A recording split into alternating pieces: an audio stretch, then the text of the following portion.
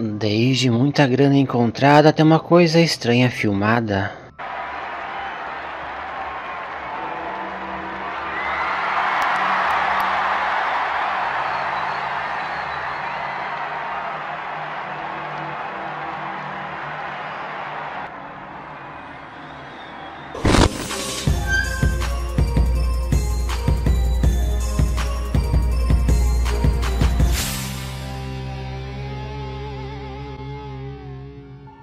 Estranho espírito aparece no Vaticano. Esses são cinco casos misteriosos.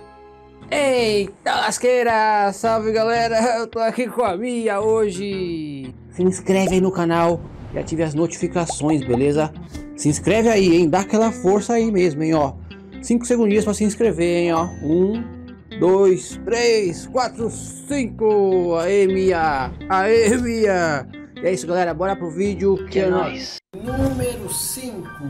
Estranha sombra no Vaticano. É uma tradição antiga em que todo domingo de Páscoa os sinos tocam no Vaticano. É um evento bem grande que atrai milhares de pessoas.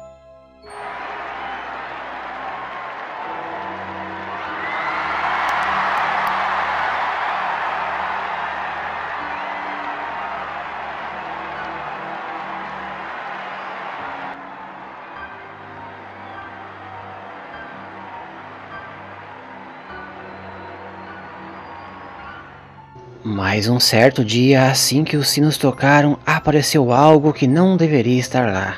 Algo que surpreendeu muita gente e várias pessoas começaram a acreditar que era algo sobrenatural. Preste muita atenção na seguinte evidência.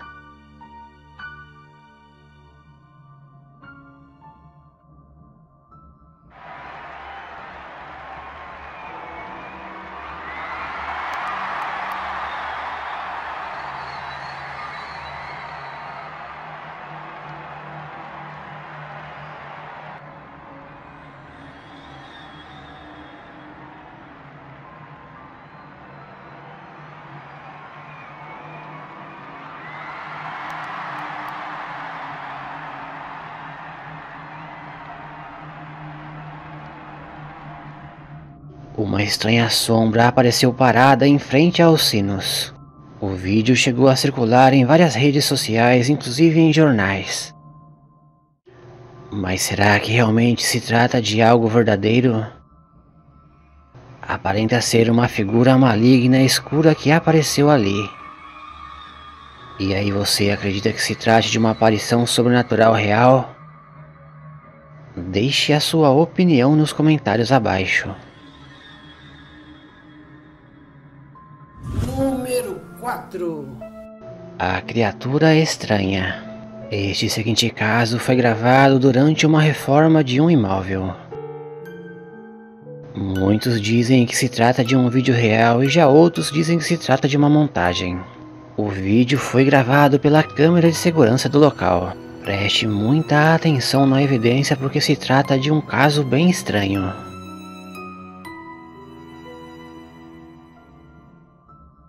Preste atenção que uma estranha criatura ou ET passa pela porta.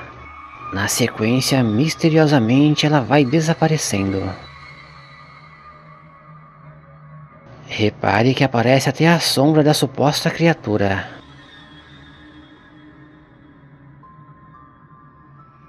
Eu aproximei o zoom aqui para vocês verem melhor. Ela vem andando tranquilamente e em seguida aparentemente aumenta a velocidade e desaparece. Um vídeo real ou não, como sempre você decide. Número 3 Por mais que tenha passado muitos anos desde que Pablo se foi, ele ainda continua sendo notícia. Durante sua vida, Pablo Escobar teve mais de 100 casas. O sobrinho de Pablo Escobar mora em uma dessas casas e aconteceu algo bem estranho com ele. Primeiro, ele encontrou uma caneta de ouro que era de Pablo Escobar que ele usava para assinar seus documentos. Depois disso, ele começou a ver espíritos na casa que conversavam com ele.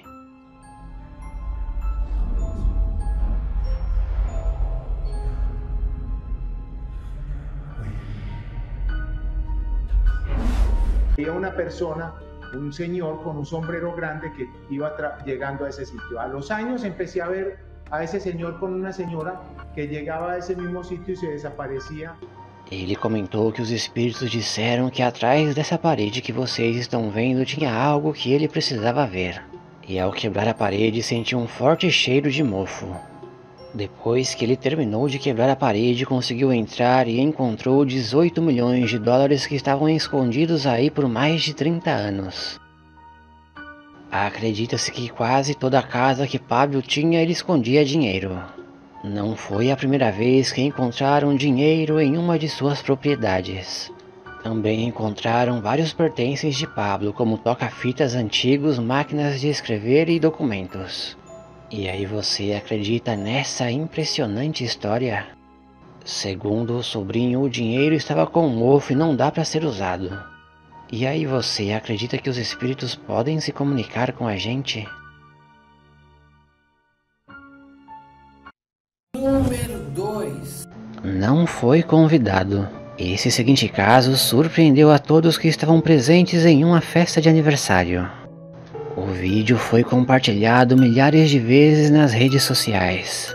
Acredita-se que alguma força sobrenatural estava presente nesse aniversário. Preste atenção e não perca nenhum detalhe.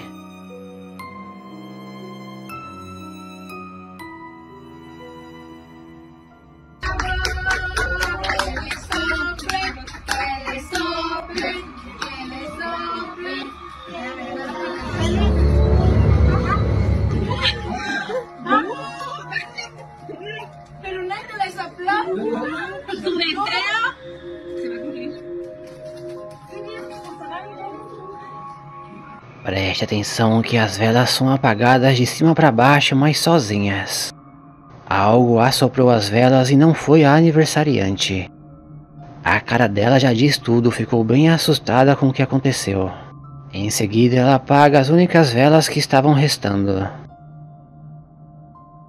Outras pessoas ainda comentaram, mas quem será que apagou a vela? Será que é alguém que não foi convidado? Muitos acreditam que algum espírito estava ali.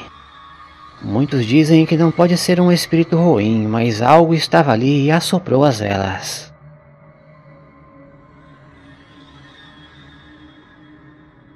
E aí você que está assistindo o que acha desse estranho caso?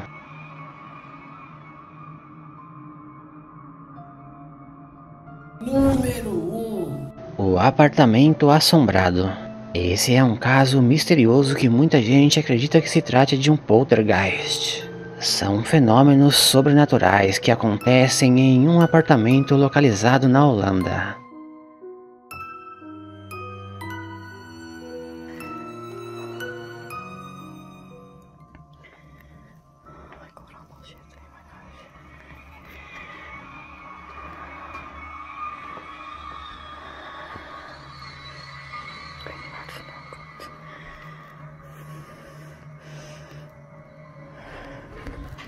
What the fuck is that? Repare que aqui um lustre se mexe sozinho. Em seguida, a luz da cozinha apaga do nada, e a dona afirma que estava sozinha em seu apartamento nesse dia.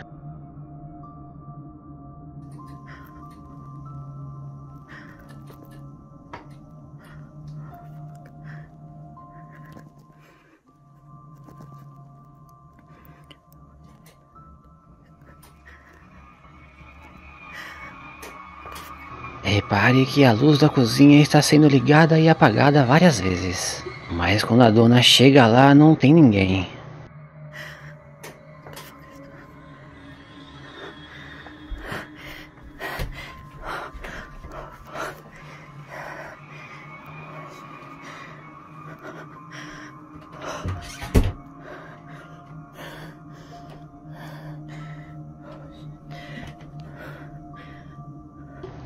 Também contou que não sabe mais o que fazer porque esse fenômeno vem acontecendo há vários dias.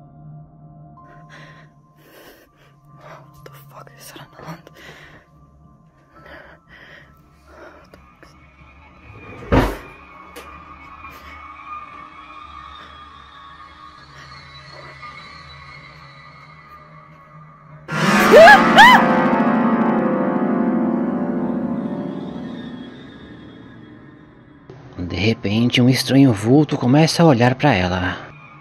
Assustada, acabou até desligando a câmera do celular. E aí você já havia visto algo parecido? Aparentemente um caso real.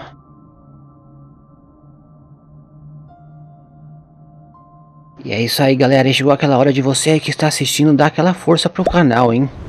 Então se inscreve no canal, tá bom? E deixa o like, mas se inscreve mesmo e dá aquela força aí. Você não tem noção de como a sua inscrição ajuda o canal, então fortalece aí, beleza? Teodoro, fala pro pessoal, Teodoro, dar aquela força pro canal e se inscrever no canal. É, pro canal crescer, senão não vai crescer, Teodoro. Pede pra eles. E é isso aí, galera. Espero que vocês realmente tenham curtido este vídeo. O Teodoro tá aqui e veio falar pra vocês, pra vocês estarem ajudando o canal, tá? Se vocês quiserem compartilhar aí com um familiar, um amigo, falou, ó oh, meu, tem um canal muito louco, assiste esse vídeo. Assiste esse vídeo que eu acho que você é um tanga frouxa. E é isso aí, galera, ó, vou deixar aqui embaixo também o meu Instagram, beleza? É não, Teodoro? Espero que Deus abençoe a família de vocês e aguardo vocês aqui no próximo vídeo, hein? O que que foi? Quer tocar? Aê, mano! Ele quer tocar, galera, é isso aí. Outra vez? Tá bom, tá bom. Um beijinho então. Uh! E é isso aí, galera. Se inscrevam no canal Rafael Fepa. Eu vou deixar aquele grande. Abraço.